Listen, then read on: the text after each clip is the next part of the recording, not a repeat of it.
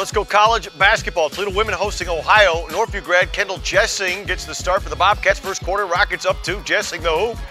In 13 minutes, two points, four boards for the junior. Second quarter, Rockets go cold.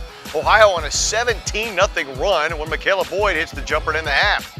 Toledo down 27 19 at the break. Third quarter, much different story. Sarah St. Fort tips the pass away, takes it coast to coast. Rockets reclaim the lead. Later in the third, great dish to Kaayla McIntyre, the Notre Dame grad with a double double 11 points, 10 boards. Rockets up two. More from the home team. Mariella Santucci drives, contact, bucket.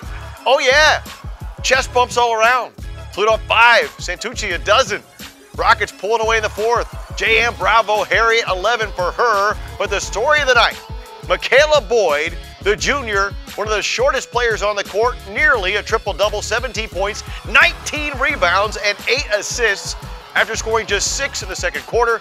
Lady Rockets with an attitude adjustment in the second half to avenge a New Year's Eve loss in Athens.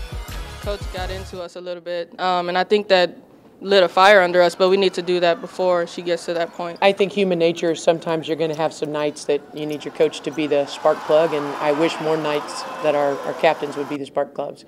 But I, but I definitely think that whatever it took, I'm glad it happened because I didn't think we were playing to our potential the first half.